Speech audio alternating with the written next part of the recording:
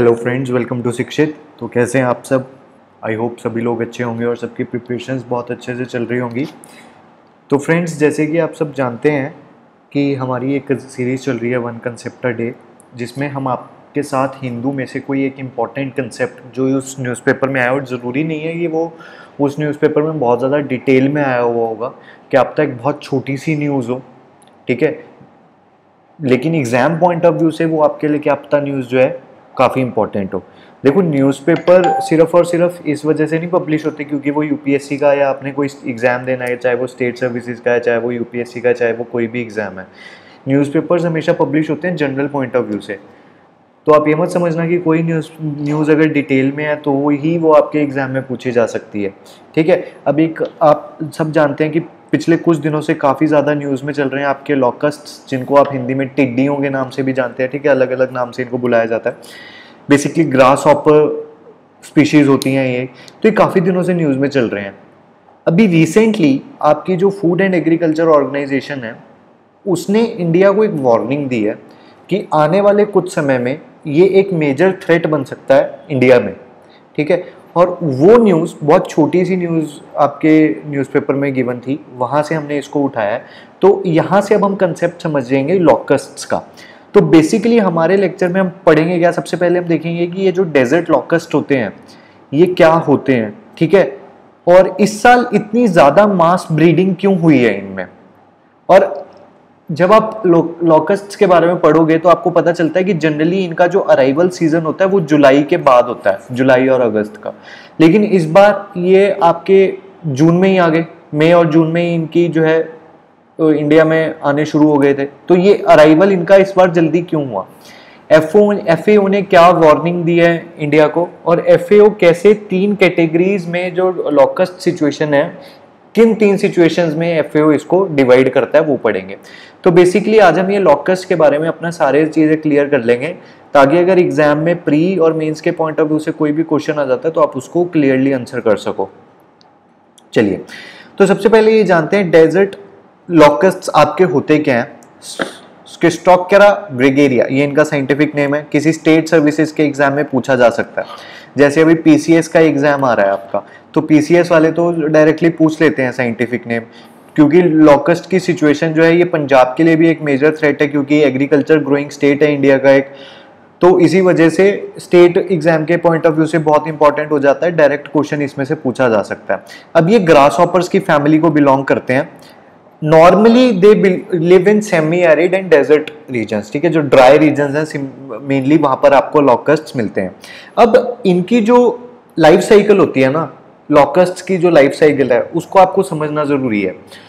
देखिए, जब लॉकस्ट को एग्स ले करने हैं तो उस समय उनको बेयर ग्राउंड चाहिए, उनको डेजर्ट रीजन चाहिए, उनको वेजिटेशन वाला रीजन नहीं चाहिए। तो जो ये वाली स्टेज है, यहाँ पर डेजर्ट लाइक सिचुएशन चाहिए। ठीक है डेजर्ट लाइक सिचुएशंस में ही they can lay their eggs लेकिन, जब सिचुएशन दूसरी आती है, जब हॉपर डेवलपमेंट की स्टेज आती है, देखो यहाँ पर ये निम्फ बनता है एग में से पहले निम्फ निकलता है this nymph can not fly ultimately जब अडल्ट ग्रास हॉपर की स्टेज पर पहुँचना है, जब हॉपर की स्टेज पर पहुँचना है, उस समय इस डेवलपमेंट के लिए ग्रीन वेजिटेशन चाहिए. तो जब एग लेइंग होनी है तो एग्स आपको ब्रीडिंग कभी भी होती है, आपको गैंगेटिक प्लेन्स या कावेरी, गोदावरी के डेल्टा के पास या इंडो डेल्टा के पास कहीं कभी नहीं मिलेगा। ये आपको हमेशा ड्राई रीजन में ही मिलेंगे, जैसे कि राजस्थान। ठीक है? क्योंकि वहीं पर ये ब्रीड कर सकते हैं और वहीं पर जो है एग्स ले डाउन किए जा सकते हैं। लेकिन फिर जब हॉपर डेवलपमेंट होनी है, उस समय पे ग्रीन वेजिटेशन चाहिए। समझ रहे हो? हॉपर डेवलपमेंट में ग्रीन वेजिटेशन चाहिए तो इसी वजह से मूवमेंट जो है वो डेजर्ट रीजन से ग्रीन वेजिटेशन वाले रीजन की तरफ़ होगी। और जब इनकी पॉपुलेशन बढ़ जाती है तो इनकी फ़ूड रिक्वायरमेंट के लिए भी फिर इन्हें जो एग्रीकल्चरल एरियाज़ हैं, वहाँ पर जाना पड़ता है। लेकिन ब्रीडिंग के लिए आइडियल प्लेस कौन सी है? ब्रीडिंग के लिए डेजर्ट या फिर जहाँ पर लो वेजिटेशन है, जहाँ पर बेयर ग्राउंड हैं, वहाँ पर इनकी जो है आइडियल सिचुएशन बनती है एगलेइंग के लिए। और राइट अब अगर आप देखो डेजर्ट रीजन में एग्स ले डाउन कर दिए। लेकिन ब्रीडिंग के लिए उन्हें आगे मूव करना पड़ेगा, जिसकी वजह से लार्ज ग्रोथ जो है वो प्रमोट हो सके। ओके अब अगर आप देखो, जब ये इंडिविजुअल फॉर्म में होते हैं या छोटे ग्रुप होते हैं, तब लोकस्ट जो है हार्मफुल नहीं होते। लोकस्ट हार्मफुल होने कब शुरू करते हैं? जब इनकी पॉपुलेशन बढ़ती जाएगी, ठीक है? इनमें कुछ बिहेवियरल चेंजेस आने शुरू होंगे। और फिर ये सॉलिटरी फ़ेज़ से, जहाँ पर इंडिविजुअल्स या कुछ आइसोलेटेड ग्रुप्स जो थे एग्जिस्ट कर रहे थे, अब ये उस फ़ेज़ से निकल के एक ग्रिगेरियस फ़ेज़ यानी कि एक बहुत बड़े बड़े जो है, गुट बनाने शुरू कर देंगे। बहुत बड़े बड़े जो है, एक तरह से पूरे के पूरे आपके इस टर्म यहाँ पर क्या यूज़ होता है? स्वाम्स ठीक है? लाखों जो लॉकस्ट होंगे, वो एक ग्रुप बनाएँगे, एक स्वाम बनाएँगे और फिर वो कंटिन्यूसली जो है, वो ट्रैवल करते हैं एक साथ। तो इंडिविजुअल और isolated groups they are not dangerous to us but जो ये लार्ज स्केल स्वाम्स हैं, ये काफ़ी ज़्यादा हमारे लिए डेंजरस हो जाते हैं। और अगर आप देखो, ये जो सिंगल स्वाम है, ये around 40 to 80 million adults in one square kilometre आप अब इससे आइडिया लगा सकते हो कि एक स्वान जो है कितना ज़्यादा हार्मफुल हो सकता है एक पर्टिकुलर एरिया की क्रॉप के लिए। 40 टू 80 मिलियन एडल्ट्स जो हैं एक पर्टिकुलर स्वान में आपको देखने को मिलता है। और ये अराउंड 150 किलोमीटर की जो जर्नी है, वो एक दिन में कर सकते हैं। मतलब कि ये 40 से 80 मिलियन एडल्ट जो हैं, एक दिन के अंदर अंदर 150 किलोमीटर का डिस्टेंस ट्रैवल कर सकते हैं। So they can be you know very dangerous अब इस साल मास ब्रीडिंग क्यों हुई? ऐसा तो नहीं है कि लॉकस्ट जो है, उनका ओरिजिनेशन अभी अभी हुआ है। हर साल होता होगा लॉकस्ट प्रॉब्लम तो। इस साल ऐसा क्या हुआ कि इतनी ज़्यादा ब्रीडिंग हो गई? अब देखो लार्ज स्केल ब्रीडिंग होने के लिए कुछ कंडीशंस नेसेसरी होती हैं। अब इस साल कुछ ऐसी जोग्राफिकल कंडीशंस बनी कि जो नेसेसरी कंडीशंस थी, जो फेवरेबल कंडीशंस थी, वो अराइज होनी शुरू हो गई इनके नेचुरल हैबिटेट में। अब इनका नेचुरल हैबिटेट क्या है? डेजर्ट और सेमी एरिड रीजन्स अब देखो, इस साल पहले तो अच्छी बारिश हो गई। अब अच्छी बारिश की वजह से ग्रीन वेजिटेशन जो है, जिस डेजर्ट रीजन में आपकी मास ब्रीडिंग होती थी, उस डेजर्ट रीजन के अराउंड ग्रीन एरियाज़ भी डेवलप हो गए। अब ये ग्रीन एरियाज़ डेवलप होने की वजह से क्या हुआ? हॉपर डेवलपमेंट जो है वो फास्टन अप हो गई। ठीक है? और इस साल यही हुआ। डेजर्ट एरिया में एग ले डाउन हो गया और उसके आसपास जो है ग्रीन ग्रीनरी भी आ गई। तो उसकी वजह से हॉपर डेवलपमेंट हो गई, जिसकी वजह से फास्टन हो गई पॉपुलेशन अब अगर आप देखो, अब ब्रीड करते हैं ड्राई एरियाज़ में, जैसे एथियोपिया सोमालिया एरिट्रिया या जो ईस्टर्न कोस्ट ऑफ़ अफ्रीका के कंट्रीज़ हैं बेसिकली हॉर्न ऑफ़ अफ्रीका वाला रीजन है। ये आपका मेनली जो रीजन है, ये हॉर्न ऑफ़ अफ्रीका है because it is in the shape of a horn ठीक है? तो अगर आप देखो, अब ये रीजन में इस साल जो बारिश हुई, उस बारिश की वजह से ब्रीडिंग ग्राउंड जो है वो बन गए। ठीक है? उसके अलावा और इसके ब्रीडिंग ग्राउंड्स कहाँ पर मिलते हैं? Yemen, Oman, southern, Iran, Pakistan के बलोचिस्तान रीजन में, खाइबर, पख्तुनखवा प्रोविंस में, इन सभी एरियाज़ में भी आपको जो है मास ब्रीडिंग के जोन यहाँ पर मिलेंगे। अब देखो, ज़्यादातर इन सारी जगहों पर अनयूजुअल गुड रेन हुई मार्च और अप्रैल में। नहीं तो मार्च और अप्रैल में इन एरियाज़ में रेनफॉल नहीं होती और ये सारे एरियाज़ जो है बेसिकली आपके डेजर्ट रीजन टाइप एरियाज़ है सेमी एरिड रीजन है। ऑल राइट लेकिन बारिश की वजह से आसपास ग्रीन जोन्स बन गए, जिसकी वजह से लोकस्ट डेवलपमेंट होनी शुरू हो गई। अब ये यही इन्हीं कंट्रीज़ में जो है लोकस्ट जो है वो डेवलप होने शुरू हुए and ultimately these locust swarms started to come in Rajasthan April के अराउंड और बेसिकली अप्रैल के अराउंड जो है ये, अगर आप देखो जनरली जुलाई और अक्टूबर में ये अराइव करना शुरू करते हैं इंडिया में, लेकिन इस बार इन्होंने अप्रैल में ही जो है इंडिया में एंट्री कर ली थी। तो दिस वाज द रीजन कि जल्दी जो है ब्रीडिंग होने की वजह से और अच्छी बारिश होने की वजह से जोग्राफिकल सिचुएशंस और वेदर सिचुएशंस अच्छी होने की वजह से लॉकस्ट की ब्रीडिंग के लिए ये अर्ली अराइवल जो है वो हुआ। ओके उसके अलावा, अगर आप देखो, और भी कुछ रीजन है इस अर्ली अराइवल के। Unusual cyclonic storm of 2018 in Arabian Sea अब एक cyclonic storm Mekunu and Luban ये ओमान और यमन में इस जो है, आए। ठीक है, अब इसकी वजह से heavy rains I cyclones bring rainfalls with them ठीक है? तो हैवी रेनफॉल की वजह से जो डेजर्ट रीजन थे, वहाँ पर लार्ज लेक्स डेवलप हो गई और लार्ज लेक्स डेवलप होने की वजह से वो ग्रीनरी रीजन थोड़ा डेवलप हो गया, जहाँ पर लोकस्ट की ब्रीडिंग के लिए हेल्प हुआ। अब होता क्या है, देखो लोकस्ट अगर डेवलप तो हर साल होती है स्वान्स हर साल डेवलप होते हैं, लेकिन बेसिकली होता क्या है कि ये जो स्वॉन्स है ना, अगर आप इनकी पॉपुलेशन इंक्रीज को चेक नहीं करोगे, अगर you leave them left uncontrolled okay अगर आपने इनकी पॉपुलेशन इंक्रीज को चेक नहीं किया तो ये अपनी ओरिजिनल पॉपुलेशन से 20 टाइम्स ग्रो कर लेंगे। ये बहुत स्पीड से मल्टीप्लाई करते हैं। पर इस साल हुआ क्या? इस साल इनके ऊपर एक्शन लिया नहीं गया, क्योंकि लॉकडाउन चल रहा था पूरी दुनिया में। कोरोना की वजह से हर देश जो है लॉकडाउन सिचुएशन में था। तो ये एक तरह से जो सिचुएशन है, वो इग्नोर हो गई। और इग्नोर होने की वजह से ये जो स्वान्स हैं, जिनको जहाँ पर ये ओरिजिनेट होते हैं, यमन, ओमान, सिंध, बलूचिस्तान, इन एरियाज़ में जहाँ पर ये ओरिजिनेट होते हैं तो ओरिजिनेशन के पॉइंट पर इनको डिस्ट्रॉय नहीं किया गया, इनको खत्म नहीं किया गया। ये वहाँ पर एक्टिव रहे और अल्टीमेटली ये पॉपुलेशन में ग्रो करते रहे और आगे की तरफ़ मूवमेंट इनकी चलती रही ईस्ट की तरफ़ मूवमेंट जो है इनकी वो चलती रही कंटिन्यूसली ठीक है? अब आप देखो तो the present swarms are direct descendants and are arriving in India in search of food तो ये जो सारे आप स्वाम्स जो इंडिया में आ रहे हैं, जो लोकस्ट स्वाम्स जो इंडिया में आ रहे हैं, वो इन्हीं कंट्रीज़ में डेवलप हुए स्वाम्स पॉपुलेशन के डिसेंडेंट्स हैं and basically they are coming to India in search of their food उसके अलावा अगर आप रीजन फॉर अर्ली अराइवल में देखो तो apart from the search of food westernly winds ठीक है? इस बार जो अच्छी वेस्टर्नली विंड्स थी, उस, उन्होंने भी इनकी मूवमेंट को स्ट्रेंथन कर दिया, ठीक है? उसके अलावा अगर आप देखो बे ऑफ़ बंगाल में अम्फन साइक्लोन जो है लो प्रेशर एरिया डेवलप हुआ। ठीक है? अब इस लो प्रेशर एरिया डेवलप होने की वजह से जो विंड मूवमेंट थी वो फास्टन हो गई। जो वेस्ट टू ईस्ट मूवमेंट जो विंड की थी। अब इस विंड मूवमेंट ने इनकी फ़्लाइट को ज़्यादा हेल्प की इंडिया तक पहुँचाने में।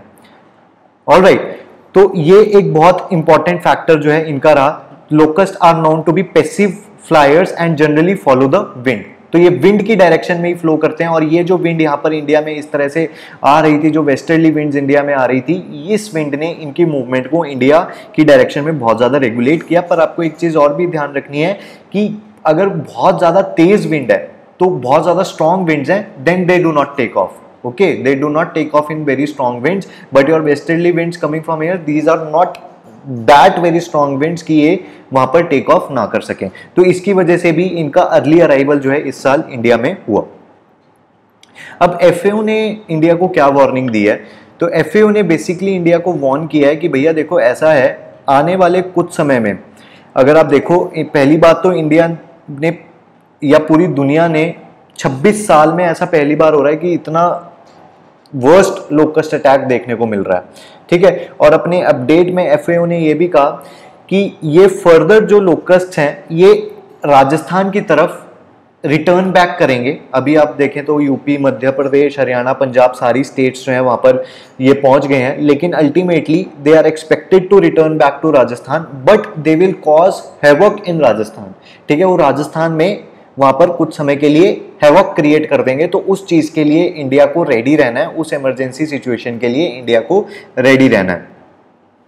अब एफ़ तीन कैटेगरीज में आपकी डेजर्ट लॉकस सिचुएशन को कैटेगराइज करता है। सबसे पहले आउटब्रेक दूसरा अपसर्ज और तीसरा फिर प्लेग हम इन तीनों सिचुएशंस को एक एक करके समझने की कोशिश करते हैं।